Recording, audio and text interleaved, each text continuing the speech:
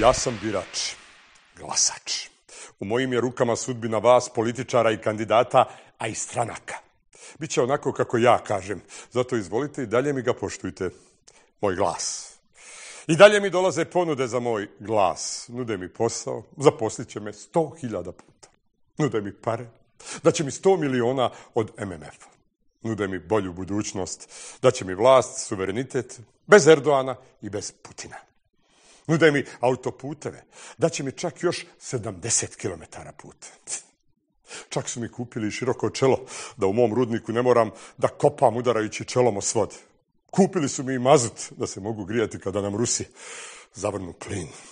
Kupili su mi i 10 km autoputa. Mogu da skoknem do Čilića i Gospe u Međugorje kada god to hoću. Kupili su mi i 3-4 autobusa da se mogu povazdan vozati po Sarajevu. Ja sam, konačno, 25 dana prije izbora odlučio za koga ću glasati. Kako ću unovčiti svoj glas i kome ću ga dati u ruke. Ali to vam